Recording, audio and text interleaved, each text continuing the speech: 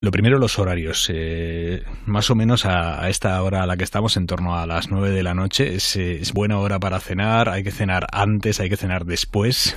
Esta es una buena hora teniendo en cuenta el país en el que estamos, que somos de comidas y de cenas muy tardías. Es verdad que aunque no hay mucha evidencia, mm, sí que se apunta a que una comida temprana y una cena temprana se relacionan con una mejor salud a largo plazo.